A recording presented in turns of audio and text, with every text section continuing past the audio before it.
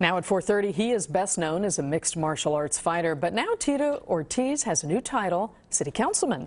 Voters elected Ortiz to one of three open seats on the Huntington Beach City Council. NBC4's uh, Vikki Vargas spoke with the conservative candidate and vocal supporter of President Trump.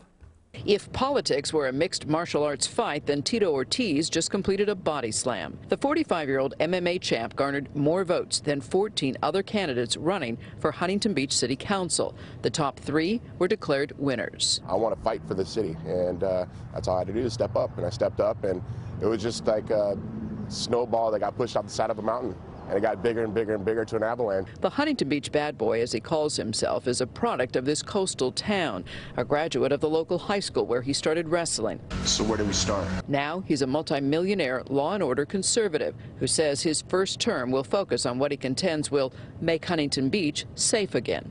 With the homeless situation, uh, you know, the roads, the parks, I've lived here my whole life and I Safety here is number one for my children, for my community. It is not a coincidence his campaign motto echoes that of President Trump. Ortiz appeared on The Celebrity Apprentice in 2008. We're going to win this. On election night, Ortiz was overjoyed with his victory. But he believes the presidential race has not been decided, saying publicly there should be a national recount, even though there has been no evidence to support vote fraud. That's my opinion, but let's do it right. Let's do it for the safety of this country and keep the integrity of this country. That's our number one.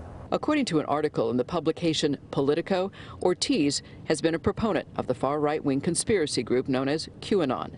His campaign manager says while he is curious, he is not a member of the organization, that because of his celebrity, his opinions have been misconstrued. As a first time politician, he will be in the minority. Five of the seven council members are Democrats. Ortiz is one of two Republicans. And when it comes from the heart and it comes for the future of our community, I'm all in. He and the other two council members will be sworn in December 7th. In Huntington Beach, Vikki Vargas, NBC4 News.